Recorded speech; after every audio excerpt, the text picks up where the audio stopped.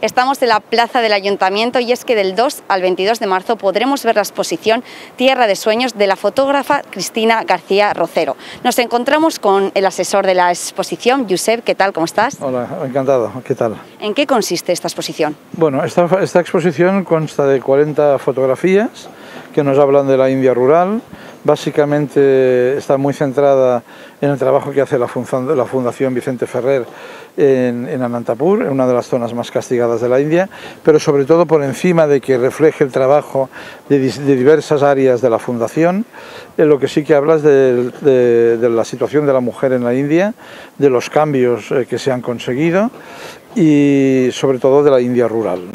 Es una muestra que nos acerca al día a día de la India rural, al, al trabajo, como comentaba, de la Fundación, eh, habla de sanidad, habla de educación, habla de género, eh, habla de discapacidad bueno, eh, y de ecología, de todos los sectores con los que trabaja la Fundación. Una exposición que se centra principalmente en las mujeres, ¿no? Sí, está centrado básicamente en los, los retratos, hay retratos yo creo que importantes de, que reflejan la situación de la mujer en la actualidad. Y también hay algunas que nos habla del pasado también, de cómo vivía la mujer eh, hasta hace muy poquito. Y bueno, en algunas comunidades todavía sigue existiendo esa situación. Hay alguna fotografía que en este caso es de una niña de 10 años que está eh, celebrando su primera menstruación porque significa que eso ya se puede casar o ya puede buscar marido, diríamos, a partir de ese momento. ¿no? Esa fotografía tiene una contraposición con otra que está muy cerquita, que es mujeres encabezando las manifestaciones del Día Internacional de la Mujer. ¿no?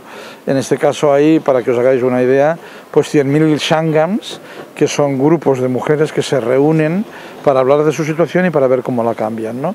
Y estas son las que encabezan ahora las manifestaciones en la India, ¿no? para revertir su situación. Cada imagen refleja un tema en concreto, ¿no? Sí, habla de personas con discapacidad, porque nacer en la India y nacer con discapacidad, os podéis imaginar que es un problema muy grande. Hasta hace muy poco los niños con discapacidad, los niños y niñas con discapacidad, tanto intelectual o con eh, niños con parálisis cerebral, eran rechazados por la mayoría de las familias. ¿no? Ahora tienen un espacio, un hospital, donde se les cuida, donde se les atiende, donde se hace lo posible, no por cambiar su situación, pero sí por mejorarla. ¿no? Os hablo de hospitales, como os puedo hablar también de sanidad de todo el tema de nutrición, de cómo abastece la fundación a estas comunidades, de tribus, por ejemplo, como comentaba anteriormente, de una tribu como la tribu Chenchu, que viven de la recolección y la caza y que no tienen sistema sanitario y que mueren con 40 años, ya son ancianos, y cómo la fundación proporciona, en este caso, viviendas a nombre de las mujeres, ¿no? que esto es importante para revertir su situación. Una exposición que ya ha estado en diferentes ciudades, ¿verdad? ¿Qué aceptación ha tenido? Bueno, muy bueno. Eh, yo creo que tiene una aceptación muy positiva, sobre todo porque arte en la calle acerca al ciudadano, en este caso esta muestra. ¿no?